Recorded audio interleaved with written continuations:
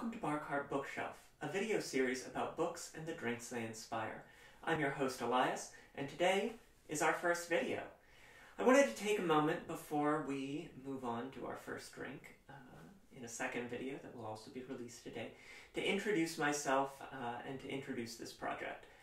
I have been a reader all my life, and especially a reader of science fiction and fantasy, though those are far from the only genres that we'll explore in this series.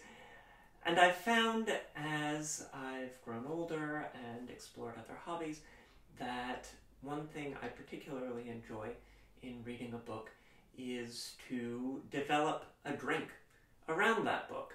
I have been making cocktails and mocktails since college, uh, starting with making my own liqueurs my senior year, and have since come to work a small cocktail shop in Somerville, Massachusetts, where I've been a cocktail consultant and floor manager for the past two years, the Boston Shaker. Um, in my time making drinks at home and in a professional capacity, I have developed the techniques and skills that are broadly translatable to a variety of drinks and uh, that I have found inspiring in preparing drinks inspired by books that I've read.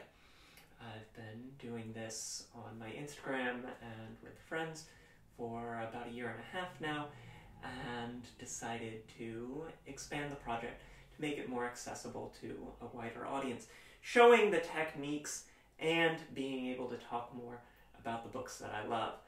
I will, in the course of this video, uh, series always talk about a specific book and a specific drink uh, while demonstrating techniques that can be applied both to classics and modern favorites.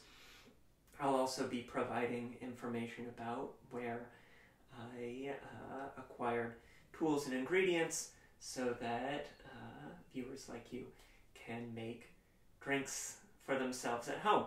So, without any further ado, why don't we pause here and uh, move on to our first book and our first drink. Until next time, only a few moments from now, cheers.